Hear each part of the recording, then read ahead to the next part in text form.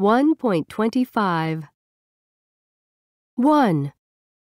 Is Sydney the capital of Australia? No, it isn't.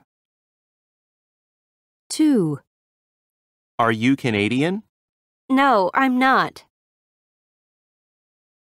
3. Is Superman American? Yes, he is. 4. Are the Simpsons English?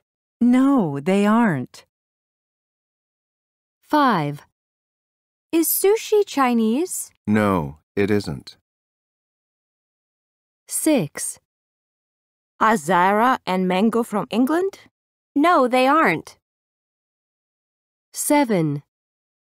Is Lima in Peru? Yes, it is. 8.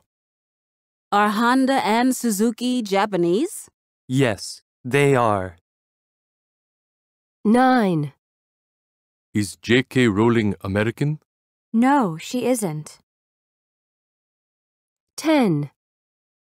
Is New York the capital of the United States? No, it isn't.